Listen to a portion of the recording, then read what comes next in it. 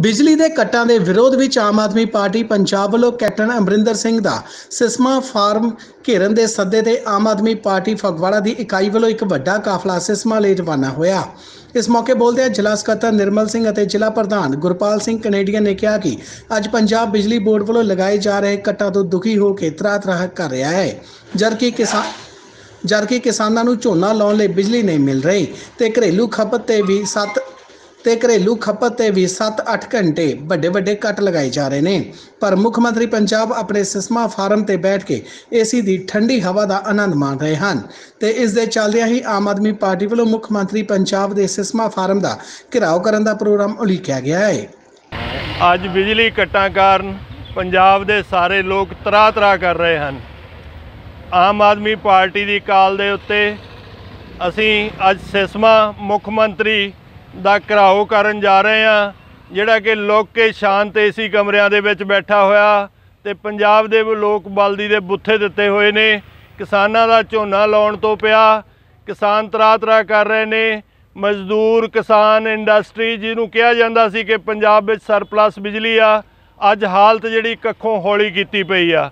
ਹਾਲਾਤ ਇਹ ਆ ਕਿ ਕਾਂਗਰਸ ਦੇ ਆਪਣੇ ਭਾਂਡੇ ਨਹੀਂ ਸਾਂਭੇ ਜਾ ਰਹੇ ਉਹ ਦਿੱਲੀ ਭਾਂਡੇ ਬਚਾਉਂਦੇ ਫਿਰਦੇ ਆ ਤੇ ਪੰਜਾਬ ਫਿਰ ਬਲਦੀ ਦੇ ਬੁੱਥੇ ਆਇਆ ਅੱਜ ਇਹ ਫਗਵਾੜਾ ਟੀਮ ਸਾਰੀ ਜ਼ਿਲ੍ਹਾ ਪ੍ਰਧਾਨ ਗੁਰਪਾਲ ਸਿੰਘ ਦੀ ਰਹਿਨਮਾਈ ਦੇ ਵਿੱਚ। ਮੈਂ ਇਕੱਲੇ ਇਕੱਲੇ ਦੇ ਨਾਂ ਲੈਣ ਨਾਲ ਸਾਰਿਆਂ ਨੂੰ ਸਮੂਹਿਕ ਤੌਰ ਤੇ ਧੰਨਵਾਦ ਦਿਆਂਗਾ ਕਿ ਅੱਜ ਇਸ ਕਾਂਗਰਸ ਸਰਕਾਰ ਦੇ ਕੰਨਾਂ ਤੱਕ ਪੰਜਾਬੀਆਂ ਦੀ ਆਵਾਜ਼ ਪਹੁੰਚਾਉਣੀ ਆ ਤਾਂ ਕਿ ਇਹਨਾਂ ਨੂੰ ਪਤਾ ਲੱਗ ਸਕੇ ਕਿ ਪੰਜਾਬ ਜਾਗ ਗਿਆ ਤੇ ਆਉਣ ਵਾਲੀ ਸਰਕਾਰ ਆਮ ਆਦਮੀ ਪਾਰਟੀ ਦੀ ਹੋਏਗੀ।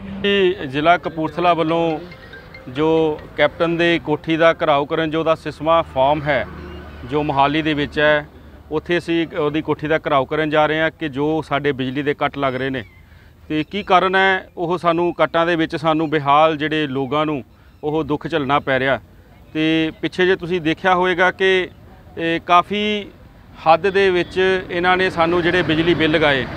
ਬਿਜਲੀ ਬਿੱਲਾਂ ਤੋਂ ਬਾਅਦ ਜਦੋਂ ਚੰਡੀਗੜ੍ਹ ਵਿਖੇ ਅਰਵਿੰਦ ਜੀ ਨੇ ਜਦੋਂ 300 ਯੂਨਿਟ ਫ੍ਰੀ ਦਾ ਜੋ ਇੱਥੇ ਐਲਾਨ ਕਰਕੇ ਗਏ ਤੇ ਇਹਨਾਂ ਨੇ ਇੰਨੀ ਕੁ ਬੁਖਲਾ- ਬੁਖਲਾਹਟ ਦੇ ਵਿੱਚ ਆ ਗਏ ਇਹ ਆਮ ਆਦਮੀ ਪਾਰਟੀ ਦੇ ਖਿਲਾਫ ਕਿ ਜਿੰਨੇ ਵੀ ਅਕਾਲੀ ਦਲ ਦੇ ਜਾਂ ਕਾਂਗਰਸ ਦੇ ਲੀਡਰ ਨੇ, ਇਹਨਾਂ ਦੇ ਸਾਰਿਆਂ ਦੇ ਜਿਹੜੇ ਬਿਆਨ ਆਮ ਆਦਮੀ ਪਾਰਟੀ ਦੇ ਖਿਲਾਫ ਆਏ ਤਾਂ ਜੋ ਇਹਨਾਂ ਨੂੰ ਸਾਫ਼-ਸਾਫ਼ ਇੱਥੇ ਬੁਖਲਾਹਟ ਝਲਕਦੀ ਪਈ ਸੀ ਕਿ ਇਹ ਐਡਾ ਵੱਡਾ ਐਲਾਨ ਜਿਹੜਾ ਕਰ ਗਏ ਨੇ ਅਰਵਿੰਦ ਜੀ ਔਰ ਲੋਕ ਵੱਧ ਤੋਂ ਵੱਧ ਇਹ ਆਮ ਆਦਮੀ ਪਾਰਟੀ ਦਾ ਸਮਰਥਨ ਕਰ ਰਹੇ ਨੇ। ਅੱਜ ਅਸੀਂ ਘਰਾਓ ਕਰਨ ਜਾ ਰਹੇ ਹਾਂ, ਇਹਨਾਂ ਦੇ ਸਿਸਮਾ ਫਾਰਮ ਦਾ, ਕੈਪਟਨ ਸਾਹਿਬ ਦੀਆਂ ਅੱਖਾਂ ਖੋਲਣ ਕੈਪਟਨ ਸਾਹਿਬ, ਤੁਸੀਂ ਹੁਣ ਸਾਡੇ ਜਿਹੜੇ ਪਾਕਿਸਤਾਨ ਦੇ ਪੱਤਰਕਾਰ ਨੇ ਜਿਹੜੇ ਇਹ ਤੁਹਾਡੇ ਦੋਸਤ ਨੇ ਅਰੂਸਾ ਆਲਮ, ਉਹਨਾਂ ਦੀ ਬਾਹਾਂ ਤੋਂ ਨਿਕਲੋ ਤੇ ਤੁਸੀਂ ਇੱਥੇ ਆ ਕੇ ਸਾਡੇ ਆਪਣੇ ਲੋਕਾਂ ਦਾ ਜਿਹੜਾ ਸੁਣਵਾਈ ਕਰੋ ਤਾਂ ਕਿ ਅਸੀਂ ਆਮ ਲੋਕਾਂ ਦੀ ਆਵਾਜ਼ ਜਿਹੜੀ ਹੈਗੀ ਹੈ ਉਹ ਉਹਨਾਂ ਤੱਕ ਪਹੁੰਚਾਈਏ। ਸਾਡੀ ਆਮ ਆਦਮੀ ਪਾਰਟੀ ਦਾ ਜੋ ਫਰਜ਼ ਹੈ, ਅਸੀਂ ਆਪਣਾ ਓਪੋਜੀਸ਼ਨ ਹੋਣ ਦਾ ਜਿਹੜਾ ਫਰਜ਼ ਹੈ, ਪੂਰਾ ਕਰ ਰਹੇ ਹਾਂ ਜੀ। ਇਸੇ ਤਰ੍ਹਾਂ ਹੀ ਆਮ ਆਦਮੀ ਪਾਰਟੀ ਦੇ ਵਰਕਰ ਵੀ ਸੰਤੋਸ਼ ਕੁਮਾਰ ਗੋਗੀ ਦੀ ਅਗਵਾਈ ਵਿੱਚ ਸਿਸਮਾ ਫਾਰਮ ਵਿਖੇ ਪਾਰਟੀ ਵੱਲੋਂ ਦਿੱਤੇ ਜਾ ਰਹੇ ਧਰਨੇ ਵਿੱਚ ਸ਼ਾਮਲ ਹੋਣ ਲਈ ਰਵਾਨਾ ਹੋਏ। ਇਸ ਮੌਕੇ ਸੰਤੋਸ਼ ਕੁਮਾਰ ਗੋਗੀ ਨੇ ਕਿਹਾ ਕਿ ਪੰਜਾਬ ਵਿੱਚ ਲੱਗ ਰਹੇ ਬਿਜਲੀ ਦੇ ਕੱਟਾਂ ਦੇ ਰੋਸ ਵਜੋਂ ਪਾਰਟੀ ਵੱਲੋਂ ਮੁੱਖ ਮੰਤਰੀ ਪੰਜਾਬ ਦੇ ਸਿਸਮਾ ਫਾਰਮ ਦਾ ਘਿਰਾਓ ਕਰਨ ਦਾ ਪ੍ਰੋਗਰਾਮ ਉਲੀਕਿਆ ਗਿਆ ਹੈ। ਉਨ੍ਹਾਂ ਕਿਹਾ ਕਿ ਜੇਕਰ ਪੰਜਾਬ ਸਰਕਾਰ ਨੇ ਬਿਜਲੀ ਦੇ ਕੱਟਾਂ ਨੂੰ ਬੰਦ ਨਾ ਕੀਤਾ ਤਾਂ ਪਾਰਟੀ ਵੱਡੇ ਪੱਧਰ ਤੇ ਸੰਘਰਸ਼ ਆਰੰਭੇਗੀ।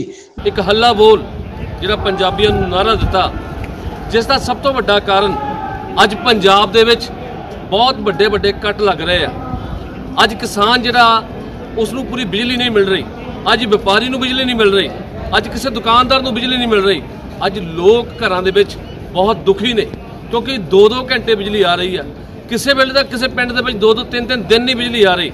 ਇਸੇ ਕਰਕੇ ਆਮ ਆਦਮੀ ਪਾਰਟੀ ਨੇ ਬੀੜਾ ਚੁੱਕਿਆ ਕਿ ਕੈਪਟਨ ਅਮਰਿੰਦਰ ਸਿੰਘ ਨੇ ਬਿਜਲੀ ਕੰਪਨੀਆਂ ਦੇ ਨਾਲ ਜਿਹੜੀ ਅਕਾਲੀ ਦਲ ਬਾਦਲ ਤੇ ਬੀਜੇਪੀ ਸਰਕਾਰ ਵੇਲੇ ਸੰਧੀ ਕੀਤੀ ਸੀ ਕੈਪਟਨ ਅਮਰਿੰਦਰ ਸਿੰਘ ਜੀ ਨੇ, ਉਹਦੇ ਉੱਪਰ ਕੋਈ ਵੀ ਐਕਸ਼ਨ ਨਹੀਂ ਲਿਆ, ਕਿਉਂਕਿ ਕੈਪਟਨ ਸਾਹਿਬ ਨੇ ਵਾਅਦਾ ਕੀਤਾ ਸੀ ਕਿ ਉਹ ਜਿਹੜੇ ਐਗਰੀਮੈਂਟ ਹੈਗੇ ਆ, ਉਹ ਮੈਂ ਰੱਦ ਕਰਾਂਗਾ। ਪਰ ਪੰਜਾਬ ਦੇ ਲੋਕ ਇਸ ਟਾਈਮ ਬਹੁਤ ਦੁਖੀ ਨੇ। ਇਸ ਕਰਕੇ ਆਮ ਆਦਮੀ ਪਾਰਟੀ ਨੇ ਪੂਰੇ ਪੰਜਾਬ ਦੇ ਵਿੱਚ ਕੈਪਟਨ ਸਾਹਿਬ, ਤੁਹਾਡੇ ਖਿਲਾਫ ਤੁਹਾਡਾ ਸਿਸਮਾ ਹਾਊਸ ਘੇਰਨ ਲਈ ਅੱਜ ਇਸ ਚੰਡੀਗੜ੍ਹ ਦੇ ਵਿੱਚ ਇਕੱਠ ਕੀਤਾ ਵਾ। ਅਸੀਂ ਲੋਕ ਪਿੱਛੇ ਹਟਣ ਵਾਲੇ ਨਹੀਂ ਹੈ, ਨਹੀਂ ਹੈਗੇ।